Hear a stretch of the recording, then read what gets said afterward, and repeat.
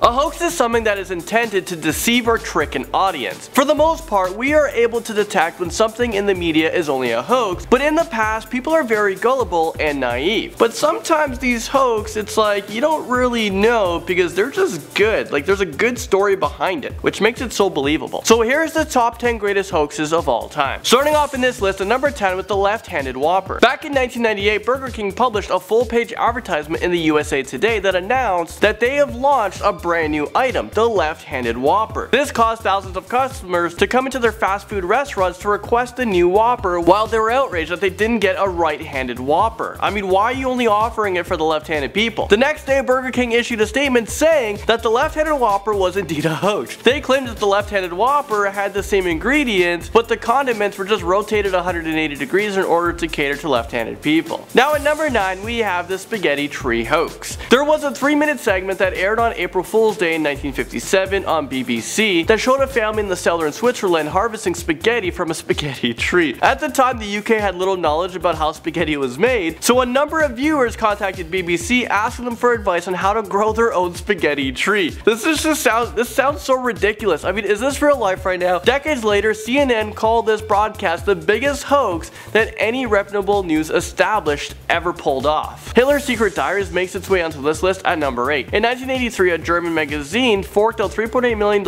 and purchased an unverified collection of Hitler's private diaries that had supposedly survived the war unscratched. The world was absolutely stunned and intrigued as to what Hitler has written. But once an actual historic appraiser got a hold of them, he revealed that these writings are just horrible forgeries. I mean, they're totally fake. I think the hint there was they were kept in mint condition after during a, like a war. It wasn't dirty, it wasn't scratched. I mean, come on, couldn't be real. Coming at number 7, we have the Masked Marauder. The editor of Rolling Stone magazine wanted to try an experiment. So in 1969 they printed a review about a fake album by a non-existent band called the Masked Marauders which they claimed was a group included with Bob Dylan, Mick Jagger, John Lennon, and Paul McCartney. But they are playing under fake names. Rolling Stone then took this experiment one step further hiring a band to record a full album posing as this fake band. Well the Masked Marauders spent 12 weeks on the Billboard's chart and sold more than 100,000 copies. I mean not bad for a band that didn't even exist exist. Number 6 brings us to the little boy trapped in an air balloon. I remember this one. This was in October of 2009. Richard Heene caused a lot of media attention when he claimed that his 6-year-old son was trapped inside of a runaway gas balloon. People all over America were tuned into the news channel to watch this live event as the balloon flew through the sky with the child stuck inside. Well, as it turns out, this was actually a hoax. The child was actually, he was just home safe and sound, but his father had spent the next 90 days in jail and had to pay $36,000 for wasting the time of rescue personnel. It was so stupid.